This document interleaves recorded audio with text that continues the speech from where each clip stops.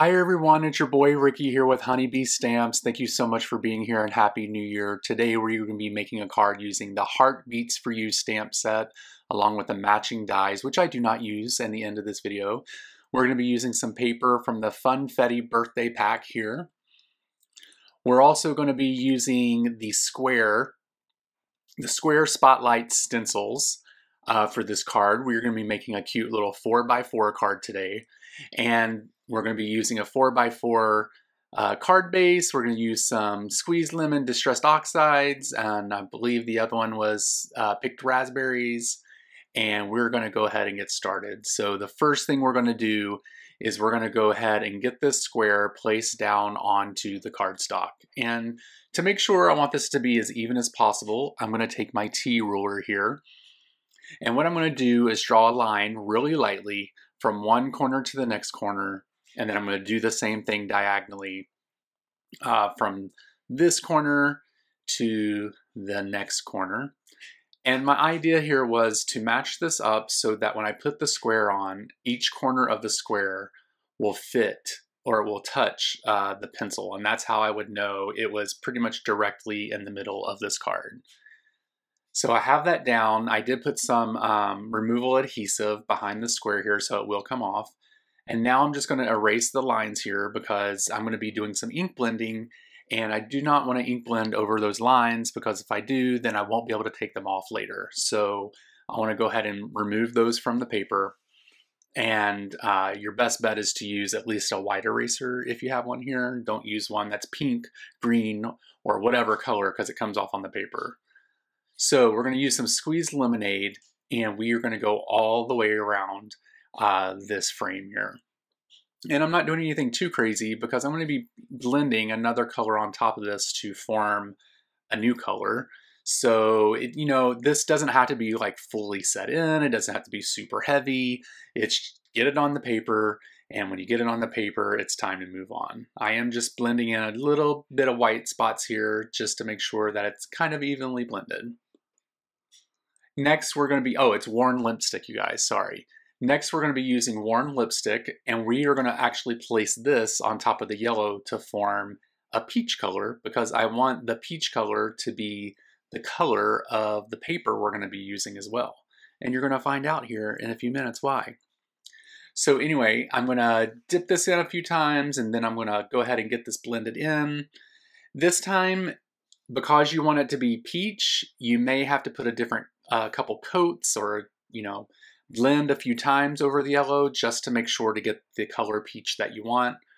And you'll see me here going back and forth a little bit, just making sure that I have enough. I do even out the darker spots on this card because I did have a little um, oopsie there, but you know what? It's handmade. That's what happens.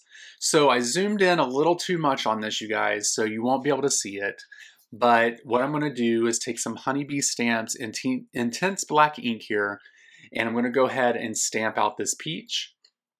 And the reason I wanted it to be uh, a close color to the frame is because we are going to be doing some uh, paper piecing here. So basically I fussy cut the peach out and then to do the leaves, I'm just grabbing a green piece of paper from my stash and we're going to go ahead and stamp uh, the peach out again and then we're going to cut out uh, the leaves. Now I did cut out the stem from this because I didn't want to have to use my time to uh, cut out a brown piece for the stem. I guess I could have left it green, but nah, it's okay. So I have that fussy cut out and then here you're going to see when I put it together, it's going to be our cute little peach using the paper and the cute little green. It looks so cute. And total, you guys, total to make this card was 17 minutes even. That was like with me cleaning up between everything. So, you know, it's pretty quick card. Next thing we're going to do is go ahead and put the sentiment on. It says, you're a peach. And we're going to use the same black ink here uh, to go ahead and get this stamped out. Now, I was trying to go back and forth. Should I use green? Should I use peach? What should I do? So down in the comment, you guys, let me know what color you think I should have done. So I decided to go with black, and now we're going to put some foam tape on the back of this peach. And so that we can get that placed onto the card, we're going to place it there in the center. maybe if I can get up. I'm trying to do this in real time, kind of. I did slice it up, but here we go. So I got the peach there. I put it at a slant because I thought it was super cute. And there we have it. And I thought it was done. I picked it up. I'm like, hmm, no, it's not. I need to put a little bit of jewels on this. So I'm going to go ahead and put some rhinestones on this. Uh, Honeybee Stamps has tons of gem stickers, but I couldn't find one that was close to the color I needed, so I just pulled some from my stash. And then the card's going to be complete, you guys. I'm going to glue these things down and it'll be done. A 17 minute card. Amazing. I want to thank you guys so much for watching this video and also thank you so much for supporting Honeybee Stamps. We truly appreciate it.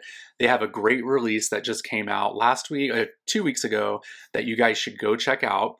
Um, what I'm using today is not part of that release, uh, but uh, you know, go check it out anyway. Uh, the products that I use today will be listed in the description. Make sure you go check out Honeybee Stamps at all the social media outlets. You can check me out by searching for Bromero Cards on Instagram and YouTube.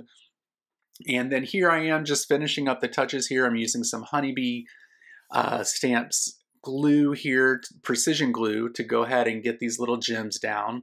Um, my big old man hands can't do it, so I have to use my little tweezers here. So thank you guys very much. You guys have a great week. I hope your new year is great, and I will talk with you later. Bye.